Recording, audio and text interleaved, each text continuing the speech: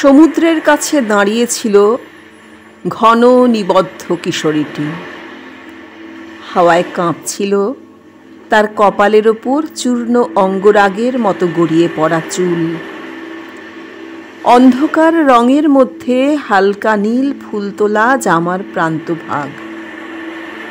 মাঝে মাঝে রাগী সমুদ্র গর্জন করতে করতে ছুটে আসছিল তার দিকে।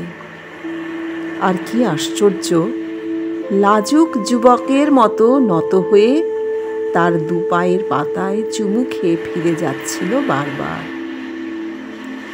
সমুদ্রে নেশা আছে।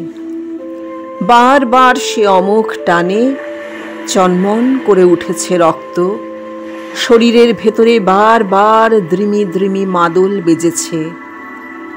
নরম রোদের চাদরে মোড়া জলের বিছানায় শুয়ে থাকা জেলেদের ডিঙি পূর্ণ পোয়াতি আকাশ আমাকে এইখানে টেনে এনেছে। দূরে পড়ে আছে ঘর ঘনিষ্ঠ সম্পর্ক। সমুদ্রের পাশে আসতে মেয়েটি যেন আমায় আঙুল তুলে কাছে ডাকল। সারা মুখে মসৃণ জ্যোৎস্না ছড়িয়ে উদ্ভিন্ন যৌবনা সেই মেয়ে বলে উঠল, দেখো, আমি কেমন নারী হয়ে উঠেছি। দূরে জলের ওপর তখন শেষ বিকেলের অন্তরঙ্গ আলোর জ্যামিতি। সমুদ্র না নারী? কার কাছে যাব?